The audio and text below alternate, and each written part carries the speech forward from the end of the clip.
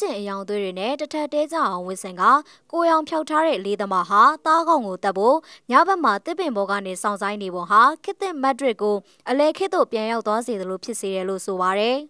မြို့ပြရဲ့အလှပတွေနဲ့မအပ်ဆက်သလိုဖြစ်နေတဲ့ဝက်တွေကိုတုတ်တင်ဖို့အပျော်ရမ်းလေးပြစ်သမား55ယောက်ကိုမိခိုနေရင်မြို့ပတ်ဝန်းကျင်မှာရှောက်သွားနေတဲ့တောဝက်တွေကိုအာနာဝိုင်းတွေအနေနဲ့ဒီလိုထူးခြားတဲ့နီးကိုအသုံးပြုပြီးတော့တုတ်တင်လာခဲ့တာဟာ9နှစ်ရှိပြီလို့ဆိုပါရယ် လေဟာအတန်တိတ်လက်နက်ဖြစ်ပြီးလူတွေအနေနဲ့အတန်မထွက်စေတဲ့နှီးတွေမှာလေးကိုအသုံးပြုကြတာဖြစ်လို့ဒီလိုအသုံးပြုတာဟာပတ်ဝန်းကျင်တဲ့လူတွေကိုအနှောက်အယှက်မပေးဘူးလို့အသက်45နှစ်ရှိစီးပွားရေးလုပ်ငန်းပိုင်ရှင်အမီလီယိုဒဲလာခရုစ်က AFP ကိုပြောပါရယ်သူဟာလေးနယ်များကိုအသုံးပြုပြီးတောဝက်တွေထိန်းချုပ်ရေးကိုစေရနာနဲ့ကူညီနေတဲ့စိတ်ထက်သန်တဲ့မုတ်ဆိုးတအုပ်ဖြစ်ပါတယ်။လေးနယ်ပြစ်သက်တာဟာတောဝက်တွေကိုလူနေရက်တွေထဲရောက်မလာအောင်ဟန်တားတဲ့နည်းဖြစ်ပါတယ်။ လူနေရက်ကွက်တွေကိုဝင်လာတဲ့ဝက်တွေကြောင့်စိုက်ပျိုးထားတာတွေပျက်စီးပြီးကားလမ်းတွေပေါ်မှာမတော်တဆမှုတွေဖြစ်တယ်လို့ဆိုပါတယ်။ခံမှန်းခြင်းအပြင်လွန်ခဲ့တဲ့9နှစ်လောက်ကဝက်အကောင်ရေ2000ခွဲကနေ3000ခွဲကြားရှိခဲ့ရာကနေမက်ဒရစ်ပတ်ဝန်းကျင်မှာဝက်အကောင်ရေဟာ3000ကနေ4000လောက်အထိမြင့်တက်လာတယ်လို့တဘာဝပတ်ဝန်းကျင်ဆိုင်ရာအာဏာပိုင်တွေကပြောပါရယ်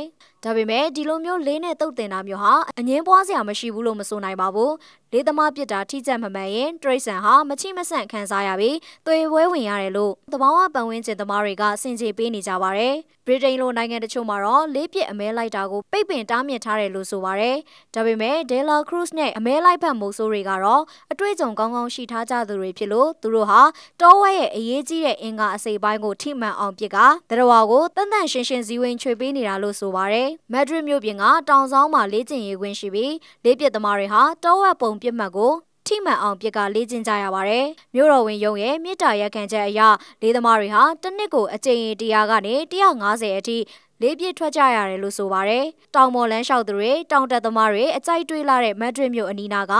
လာဘီဒရီဇာကိုကျူးကျော်ဝင်ရောက်လာတဲ့တောစိတ်အကောင်60နဲ့တောဝက်200တကောင်ကို9နှစ်အတွင်းသူတို့ဟာတပ်ဖြတ်နိုင်ခဲ့တယ်လို့ဆိုပါတယ်။ 2016ခုနှစ်ထဲမှာတောဝက်တွေကြောင့်မော်တော်ယာဉ်မတော်တဆဖြစ်တာ146ချိန်ရှိခဲ့ပေမဲ့လူသေးတဲ့မတော်တဆမှုတွေမဟုတ်ဘူးလို့ဂွာရီယာပြည်နယ်ရဲတပ်ဖွဲ့ကစီးရင်စရာတွေထုတ်ပြန်ခဲ့ပါတယ်။